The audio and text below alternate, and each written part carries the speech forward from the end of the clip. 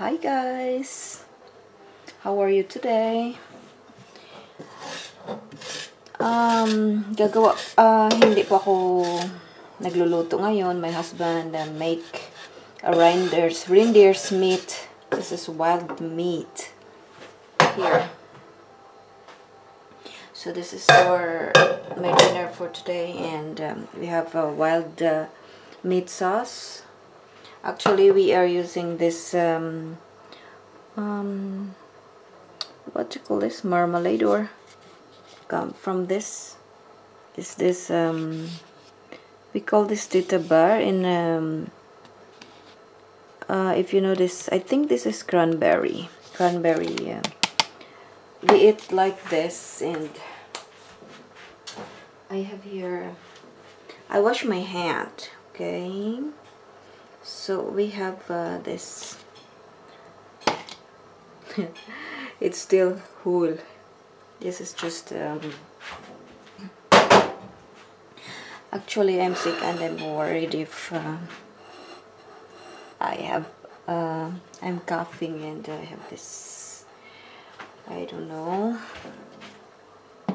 Hopefully I'm still well so I need to eat something. I think uh, I may be out of uh, ketosis for this time because I need to eat some nutrients. So what I will do is to just um,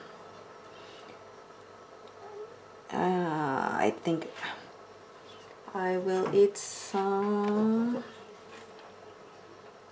mm, orange maybe I already this uh, kiwi because this is very good for the health.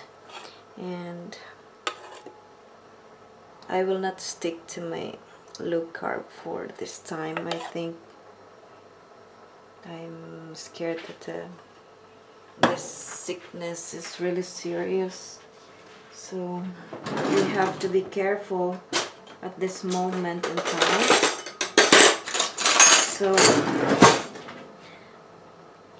it's still low carb but uh, I just add this uh, cranberry um, I don't know what you call this marmalade or um, like this they eat or you can add something if you want. So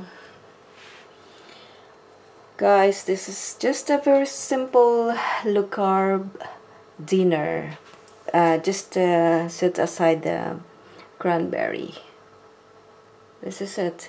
So guys hope everybody is fine and um, we are all well. I hope I can uh, make it and uh, I hope this will not getting worse. So guys God bless us all and thank you for watching. So this is my keto meal tips for today. The rein reindeer meat and broccoli. Thank you so much guys for watching. Have a nice day. Bye.